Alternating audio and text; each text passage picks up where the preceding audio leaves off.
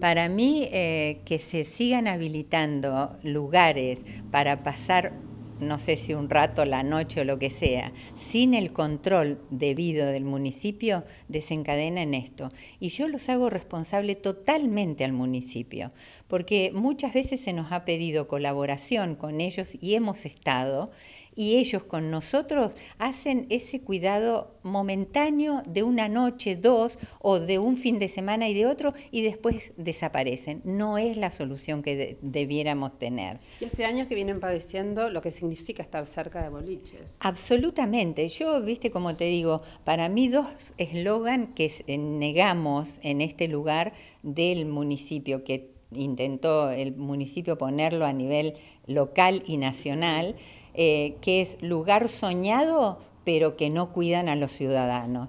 Y eh, Tandil Te Quiero Limpia, y es un descontrol de cosas tiradas, bueno, de todo lo que deja la noche, ¿no? Claudia, ¿qué es vivir cerca de eh, un boliche? Y es un padecimiento, porque de miércoles a domingo, a partir de las 9 de la noche, a veces no podemos ni estacionar en casa, sacar los vehículos o entrar los vehículos. el sonido de la música es terrible y no son boliches habilitados para baile o para pasar música. Entonces los decibeles realmente nos enloquecen, no se puede descansar. De a partir de las 10 de la noche hasta las 6 de la mañana. varios días seguidos. Y ya te digo, de miércoles a domingo. Y si hay algún feriado, también. Entonces, eh, yo respeto el trabajo de todos, nosotros respetamos, todos los vecinos que estamos involucrados en esto. Y no es solo un boliche, son varios, más las personas que van y vienen. Entonces es una corridas, peleas, peleas suciedad, eh, con, el volumen, la música a volúmenes ya decibeles que son imposibles. Ya el que va dentro del auto, bárbaro, su problema. Pero nosotros tenemos derecho a descansar. Hoy a las 5, 6 menos cuarto nos levantábamos para llevar a los chicos al colegio y era esto tierra de nadie. Y ya son muchos, muchos años, muchos días, muchas llamadas al 103, al 113, eh, a Defensoría, a Inspección. Acabo de llamar a Inspección porque Defensoría del Pueblo me sugirió eso y me tuvieron un minuto 45 en espera y no me atendieron. Entonces, Tandil para mí eh, no es un lugar soñado ahora. Y yo, todos nosotros queremos descansar, criar a nuestros hijos bien y que todos tengamos trabajo, pero respetándonos. Y acá no hay respeto en estos lugares. Y quisiera saber quién habilitó estos lugares, porque nosotros sabemos que hace mucho tiempo lugares de boliche, pasar música, bares, en esta zona no estaban habilitados. Eso. Ahora, vienen sufriéndolo hace años, décadas. Eh, más de 20 años, o prácticamente 20 años que vienen haciendo reclamos. Bueno, fíjate que desde el 2002 que eh, enviamos la primera nota al, bloque, al bloque opositor y al bloque de, oficialista, y este, no es que no, recibimos respuesta, directamente lo, ignoran. Y como dijo mi compañera, este, eh, es una cuestión de que hoy están mañana también y pasado ya se fueron, ya se, como si el, problema se hubiera, se hubiera resuelto.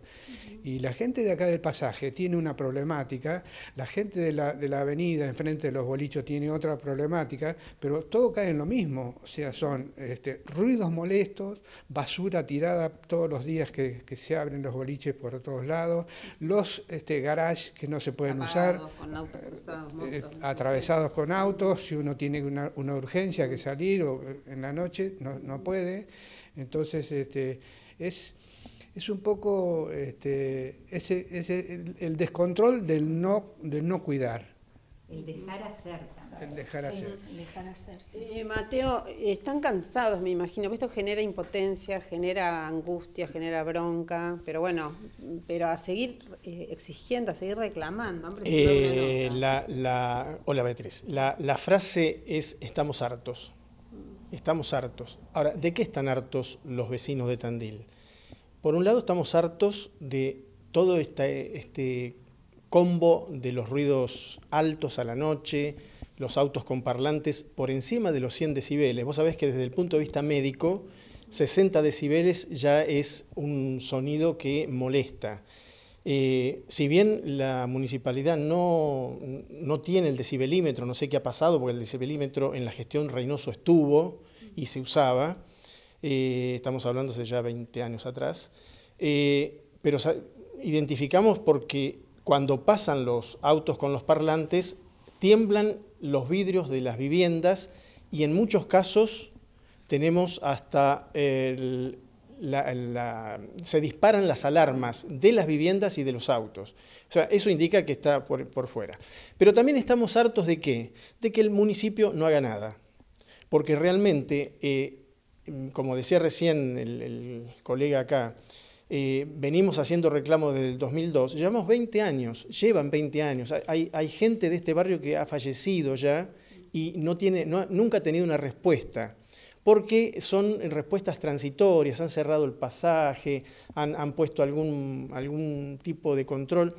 Yo recuerdo, y recién lo charlábamos en la previa, eh, durante la pandemia nos perseguía algún funcionario municipal que no nos podíamos juntar más de tres personas en una casa, o me pasó alguna vez, vos sabés que yo soy del ambiente del rugby, me pasó una vez estar en un club viendo, acompañando un árbitro, viendo un partido, y el representante del municipio vino a querer clausurar ese club y creo que hasta le pusieron una multa cuando estábamos todos al aire libre. En este momento le estamos pidiendo, por favor, al municipio, por eso ayer, antes de ayer se presentó la nota, eh, muchos vecinos han ido a la Defensoría del Pueblo, la Defensoría del Pueblo nos derivó a Inspección General, estamos llamando al 103 a Inspección General, no hay respuesta, y lo que queremos es que nos den una respuesta, que se ocupen, porque en septiembre nos vinieron a pedir el voto.